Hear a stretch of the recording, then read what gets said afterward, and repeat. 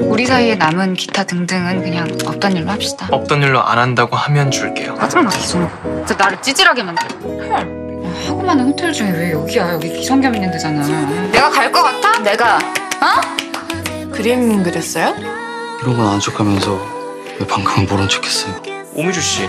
어? 오미주 씨가 왜 오늘 기성겸 씨가 왜 여기 있어요? 그 영화 아직 걸려 있던데요? 핑계댄 거라고요. 기성겸 씨 갈까봐. 저도요.